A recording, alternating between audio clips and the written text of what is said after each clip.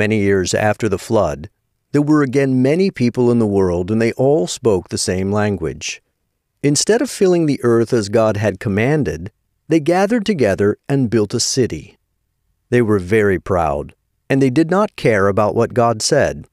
They even began building a tall tower to reach heaven. God saw that if they all kept working together to do evil, they could do many more sinful things. So God changed their language into many different languages and spread the people out all over the world. The city they had begun to build was called Babel, which means confused. Hundreds of years later, God spoke to a man named Abram.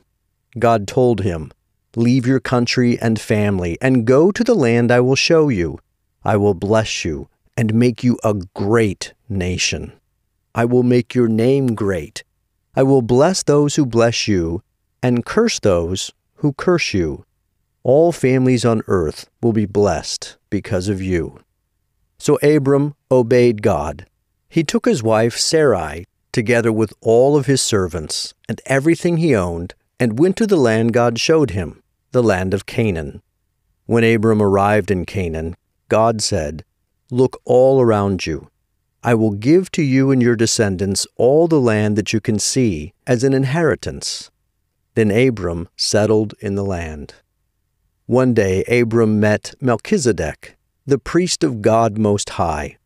Melchizedek blessed Abram and said, May God Most High, who owns heaven and earth, bless Abram.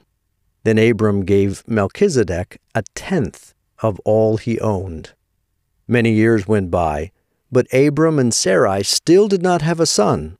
God spoke to Abram and promised again that he would have a son and as many descendants as the stars in the sky. Abram believed God's promise. God declared that Abram was righteous because he believed in God's promise. Then God made a covenant with Abram. A covenant is an agreement between two parties. God said, I will give you a son from your own body. I give the land of Canaan to your descendants.